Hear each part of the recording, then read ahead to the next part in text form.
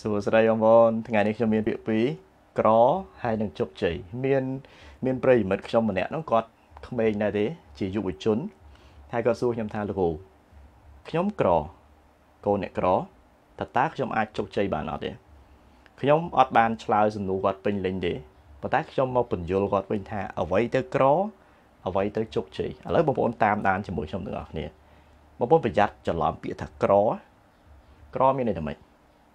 ក្រមានន័យថាអត់មានទ្រព្យឬក៏យ៉ាងម៉េច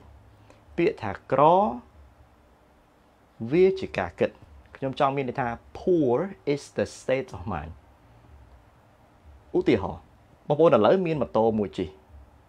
ម៉ូតូមិនថ្មីប្រហែលទេបងប្អូនថាខ្លួនឯងក្រមែនទេបាទបន្តិចទៀតបងប្អូនអាចសន្សំលុយបានខ្លះលក់គេអាកខ្លះទៅទិញឡានមួយតម្លៃ10000ជាង10000ដុល្លារជាងឡានមួយទឹក ជីបន្តិចទៀតបងប្អូនថាខ្លួនឯងក្រទៀតអត់មានទេពីព្រោះអីដោយសារយើងប្រៀបធៀបជាមួយនឹងគេប៉ុន្តែពេលដែលយើង មានឡានជិះឡានមួយទឹកមិញហ្នឹងហើយយកទៅប្រៀបធៀបជាមួយអ្នកជិះម៉ូតូបងប្អូនមានឬក៏ក្រអញ្ចឹងសំណួរសួរថាបងប្អូនក្រមានអត់ទេមិនបានម្ដងមានម្ដងក្រអានេះដោយសារតែបងប្អូនប្រៀបធៀបជីវិតខ្លួនឯងជាមួយនឹងអ្នកដទៃកុំធ្វើបែបហ្នឹងអី បងប្អូនអត់ក្រទេគ្រាន់តែបងប្អូនមានទ្រព្យសម្បត្តិមិនទាន់ពេញចិត្តមិនទាន់ satisfy ពេញចិត្តជាមួយនឹងអ្វីដែលយើងចង់បាន ដោយសារអីដោយសារតែយើងយល់ច្រឡំថាទ្រព្យសម្បត្តិទាំងអស់នោះវាធ្វើឲ្យបងប្អូនសប្បាយចិត្តធៀបពិតមនុស្សមិនមែនសប្បាយចិត្តជាមួយនឹងលុយទេជាមួយនឹងទ្រព្យទេសប្បាយចិត្តជាមួយនឹងក្តីសុបិនខ្ញុំនាំឲ្យបងប្អូនស្គាល់ពាក្យមួយទៀត ក្តីសុបិនបងប្អូនចុងវីដេអូខ្ញុំនឹងនិយាយពីពាក្យហ្នឹងតិច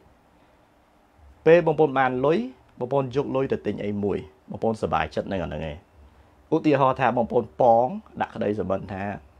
ខ្ញុំចង់ឲ្យឪពុកម្ដាយខ្ញុំរស់នៅផ្ទះល្អមួយដោយសារតែពីដើមឡើយហើយឥឡូវហ្នឹងគឺអត់មានផ្ទះល្អទេហើយគាត់ជាកសិករក្រីក្រអញ្ចឹងទៅអាហ្នឹងវាជាក្តីសុបិនមួយហើយឬក៏អ្នកខ្លះមានក្តីសុបិនថាចង់ឲ្យគ្រួសារក្រុមគ្រួសារមានសុខភាពល្អ អាហ្នឹងក៏ជាក្តីសុបិនមួយដែរប៉ុន្តែសំណួរសួរថា ដើម្បីបានអាហ្នឹងយកអីទៅទិញត្រូវការលុយត្រូវទេផ្ទះត្រូវការលុយទៅធ្វើសុខភាពល្អត្រូវការអីញ៉ាំស្រួលបួលអាហារស្រួលបួលញ៉ាំបានល្អអញ្ចឹងទៅហើយ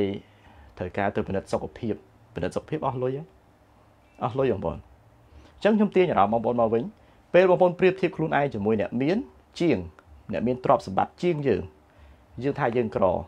ពេលដែលយើងប្រៀបធៀបខ្លួនឯងជាមួយនឹងអ្នកដែលមានទ្រព្យសម្បត្តិតិចជាងយើងយើងថាយើងមានអញ្ចឹងបងប្អូនអត់អាចកំណត់ថាខ្លួនឯងក្រឬក៏មានបានទេគ្រាន់តែយើងអត់ទាន់មានទ្រព្យសម្បត្តិដូចអ្នកណាមួយដែលយើងប្រៀបធៀបតែប៉ុណ្្នឹងឯងអញ្ចឹងកុំហៅខ្លួនឯងក្រឲ្យសោះមនុស្សដែលក្រពិតគឺក្រគំនិតបងប្អូនដូចគេនិយាយថាពាក្យខ្មែរយើងអឺមានភ្ញៀវមកលេងផ្ទះអញ្ចឹងផ្ទះយើងតូចយើងហៅផ្ទះខ្ញុំចង្អៀតណាផ្ទះចង្អៀតអត់អីទេបងប្អូន ប៉ុន្តែកុំឲ្យតែចង្អៀតចិត្តក្រទ្របអត់អីទេបងប្អូនប៉ុន្តែកុំឲ្យក្រគំនិតបងប្អូនក្រគំនិតនោះបងប្អូននឹងក្រប៉ុន្តែបើក្រទ្របមិនមែនក្រទេតោះនេះបងប្អូនបាទខ្ញុំនាំឲ្យបងប្អូនស្គាល់ពាក្យជោគជ័យពាក្យនេះប្រើច្រើន ហើយខ្ញុំក៏សង្កេតឃើញមានការយល់ច្រឡំច្រើន ជាពិសេសយុវវ័យយល់ច្រឡំពាក្យនេះច្រើនមែនតើ បងប្អូនឃើញលទ្ធផលដែលគេស្ដែងចេញទៅលើបណ្ដាញសង្គមបងប្អូនឃើញអ្វីដែលគេបង្ហាញបងប្អូនសម័យថាអាទាំងអស់ហ្នឹងវាវាកើតឡើងតែមួយយប់ឬក៏វាធ្វើទៅវាស្រួលប៉ុន្តែធៀបពិតបងប្អូនតម្រាំបានពាក្យមួយនេះ វាកើតចេញពីថាតើខ្លួនឯងយល់ពីខ្លួនឯងប៉ុណ្ណា ហើយអត់ដែលមានអ្នកជោគជ័យណាថាខ្លួនឯងក្រទេ គេអត់ដែលគិតអញ្ចឹងទេ គេគ្រាន់តែគិតថា ខ្ញុំមានគំនិតបន្តិចទៀតខ្ញុំនឹងមានខ្ញុំចង់មានន័យថាអ្នកជោគជ័យផ្នត់គំនិតគេគេគិតរួចហើយថាគេនឹងមាន ហើយបានគេចាប់ផ្ដើមធ្វើសកម្មភាពពេលដែលគេធ្វើសកម្មភាពគេបាននេះគេគេបានលទ្ធផល ហើយអាលទ្ធផលហ្នឹងគឺជាអ្វីដែលបងប្អូនឃើញធាតពិតជាក់ស្ដែងអ្វីដែលយើងឃើញនេះជាលទ្ធផលសម្រេចអានេះខ្ញុំនិយាយករណីលទ្ធផលហ្នឹងវាមែនទេប៉ុន្តែវាមានអ្នកខ្លះ លទ្ធផលคล้ายคล้ายដែរចង់និយាយចឹងណាបាទប៉ុន្តែយើងមិនបាច់និយាយរឿងคล้ายคล้ายហ្នឹងទេនិយាយរឿងមែនទេអញ្ចឹងអាលទ្ធផលសម្រាប់ហ្នឹងបងប្អូនឃើញបងប្អូនសម័យថាធ្វើមិនតិចចេញបងប្អូនសម័យថាធ្វើតែ2ថ្ងៃចេញធ្វើតែកន្លះខែចេញវាអត់មែនចឹងទេអ្នកដែលចុងក្រោយស្អប់អ្នកមានដោយសារតែ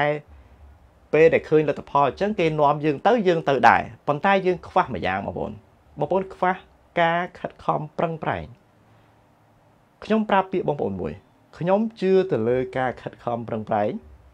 ពេលដែលយើងខិតខំប្រឹងប្រែងកាន់តែច្រើននោះសំណាងយើងមានកាន់តែច្រើនបងប្អូនខ្លះប្រហែលជាគិតថាគេមានដោយសារសំណាងខ្ញុំអត់និយាយរឿងគេអកពីដើមទីទេខ្ញុំនិយាយរឿងចាប់ដើមពី0ទាំងអស់គ្នាហើយការប្រើប្រាស់ពេលវេលារបស់គេល្អជាងយើងមនុស្សមាន24ម៉ោងដូចគ្នាក្នុងមួយថ្ងៃ មួយខែមានខែខ្លះ30ខែខ្លះ31ខែខ្លះ28ខែខ្លះ29ខែកុម្ភៈណាសំណួរសួរថាគេមាន24ម៉ោងដូចគ្នា គេមាន30ថ្ងៃដូចគ្នា31ថ្ងៃដូចគ្នា យើងដូចគ្នា គេធ្វើអីយើងធ្វើអីបើជ្រុលប្រៀបធៀបសូមបងប្អូនប្រៀបធៀបទាំងលទ្ធផល ហើយនឹងសកម្មភាពបងប្អូនខ្លះចុងសប្តាហ៍អង្គុយផឹកទេប៉ុន្តែគេដែលគេខិតខំ ចុងសប្តាហ៍គេអត់អង្គុយផឹកទេគេផឹកដែរប៉ុន្តែគេទៅផឹកកាហ្វេជួបជាមួយនឹងភ្ញៀវគេទៅផឹកកាហ្វេគេលក់នេះលក់នោះ គេមើលសភៅឡាវាខុសគ្នាបងប្អូន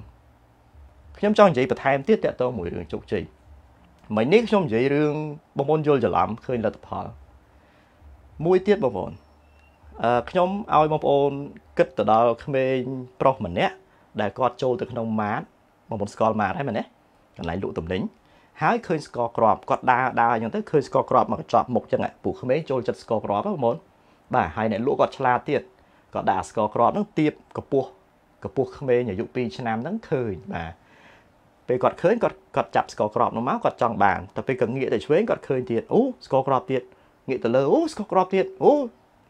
ពេញមួយម៉ាតហ្នឹងគឺគាត់ឃើញរបស់ដែលគាត់ចង់បានស្ទើរតែទាំងអស់បងប្អូនសម័យមើលអារម្មណ៍ អារម្មណ៍ពេលនោះគឺចាប់របូតចាប់ល្បេះហើយដូចគ្នាបងប្អូនពេលបងប្អូនឮពាក្យថាជោគជ័យពេលបងប្អូនឃើញលទ្ធផលដែលគេធ្វើដាច់យប់បងប្អូនសប្បាយប៉ុន្តែបងប្អូនកុំឲ្យអារម្មណ៍មួយនេះពុះ control ពេកបើកាលណាពុះ control ពេកបងប្អូននឹងភ្លេចខ្លួនថាយើងត្រូវដើរជាជំហានជំហានដើម្បីឲ្យទៅដល់ខាងលើ បងប្អូនអាចផ្លោះផ្លោះបាក់ថ្មិញពេលខ្លះបងប្អូនអញ្ចឹងយើងសំណួរសួរតើធ្វើម៉េចបងប្អូនត្រូវទៀមទាការអភិវឌ្ឍខ្លួន នៅក្នុងការធ្វើម៉េចឲ្យយើងទៅដល់ដូចគេបងប្អូនឃើញស្ករគ្រាប់ច្រើនបងប្អូនមិនអាចទៅយកទាំងអស់បានទេសម្រាប់ចិត្តយកអាមួយណាហើយទប់អារម្មណ៍ខ្លួនឯងកុំឲ្យដូចក្មេងអាយុ2ឆ្នាំឃើញស្ករគ្រាប់នៅក្នុងម៉ាត់ច្រើនបែបហ្នឹង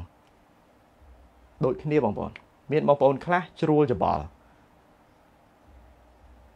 push ខ្លួនឯងរុញខ្លួនឯងធ្វើម៉េចឲ្យឲ្យទៅដល់អានេះលឿនខ្ញុំចង់ប្រាប់បងប្អូនថាសិស្សពូកែហើយនិងសិស្សមិនសូវពូកែខុសគ្នាត្រង់ថាទី1គេប្រើពេលវេលាខុសគ្នាសិស្សដែលអាចផ្លោះថ្នាក់បានគឺសិស្សពូកែត្រូវទេអញ្ចឹងមនុស្សខ្លះគាត់អាចប្រើពេលវេលាខ្លីនៅក្នុងការ ឈានពីមួយជំហានទៅមួយជំហានខណៈពេលដែលអ្នកខ្លះទៀតត្រូវការប្រើពេលវេលាធម្មតាអ្នកខ្លះទៀតត្រូវការប្រើពេលវេលារៀងយូរបន្តិចអញ្ចឹងសំណួរសួរថាបងប្អូននៅក្នុងនៅក្នុង level កម្រិតនៃសិស្សពូកែសិស្សធម្មតាឬក៏សិស្សរៀងយឺតហ្នឹងអញ្ចឹងបើសិនជាយើងនៅកដាលគឺមានន័យថាយើងត្រូវប្រើពេលវេលាចាញ់អ្នកអ្នកពូកែបន្តិចហើយត្រូវយល់ត្រូវទទួលស្គាល់ខ្លួនឯងកន្លែងហ្នឹងអញ្ចឹងកុំពុះគជ្រោពេក បងប្អូនអឺប៉ុណ្្នឹងដែលខ្ញុំចង់ប្រាប់បងប្អូនហើយចុងក្រោយខ្ញុំចង់ប្រាប់បងប្អូនថាបងប្អូនរស់នៅ ជាមួយក្តីសុបិនពូមិញខ្ញុំនិយាយពាក្យក្តីសុបិនអញ្ចឹងខ្ញុំចង់ប្រាប់បងប្អូនថាសូមរស់នៅ ជាមួយក្តីសុបិនកុំរស់នៅដើម្បីក្តីសុបិនរស់នៅដើម្បីក្តីសុបិនមានន័យថាយើងឥឡូវនេះហាក់ដូចជាព្យាយាមធ្វើរឿងដែលយើងអត់សប្បាយចិត្តច្រើនមែនទែនដែលប្រហែលជាយើងអត់អាចដល់ទីផងយើងដាច់ខ្យល់មុនឯង អញ្ចឹងសូមធ្វើបដាសបាយបដា enjoy ពាក្យជាភាសាអង់គ្លេសណាអញ្ចឹងរស់នៅជាមួយនឹងក្តីសុបិនមានន័យថាទោះយើងមិនបានជាផ្លែផ្កាច្រើនប៉ុណ្ណាក៏ដោយឬក៏មិនទាន់ដល់ទីក៏ដោយក៏បងប្អូនត្រូវដើរបដាលរីករាយជាមួយនឹងធម្មជាតិជាមួយនឹងមនុស្សជុំវិញខ្លួនបដាលបាទជិះវៀងខ្លាចបងប្អូនធ្លាប់ឃើញឯអ្នកណាដែលគាត់សម័យខ្ពស់មែនតើហើយគាត់រត់ដែលរីករាយជាមួយនឹងជីវិតគាត់ទេ លទ្ធផលក៏មិនសូវបានល្អដែរបងប្អូនពីព្រោះអត់មានកម្លាំងជំរុញអត់មានកម្លាំងជំរុញអញ្ចឹងគាត់ចាំដល់គាត់ចាំចាំរីករាយប៉ុន្តែផ្ទុយទៅវិញវាអត់ដល់អាចដាច់ខ្យល់កដាលទីបងប្អូនណាអរគុណ